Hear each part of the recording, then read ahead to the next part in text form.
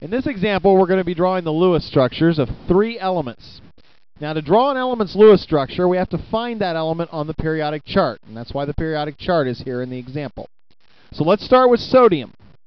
There's sodium on the periodic chart. It's in group 1A. All right, that's what's important when it comes to Lewis structures because the group tells you how many valence electrons the atom has. And that's what's important here.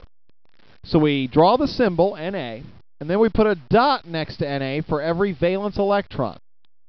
Well, since it's in group 1A, it has only one valence electron, so we draw one dot, and then we're done.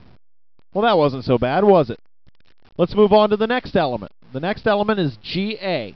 There it is on the chart. It's in group 3A. So that means it has three valence electrons. So we draw the symbol Ga, and then we put three dots around it. But we put those dots in a particular order. We start on the right-hand side of the symbol and put one dot. Then we move to the bottom of the symbol and put the next dot. And then we move to the left and put the third dot. That's the Lewis structure for Ga. All right, the final Lewis structure we want to consider is Te. There it is in the periodic chart. It's in group 6A. That means it has six valence electrons. So we draw the symbol Te, and then we draw six dots around it. We put one on the right, one at the bottom, one on the left, one at the top. Now we're out of room, so we have to start doubling electrons up.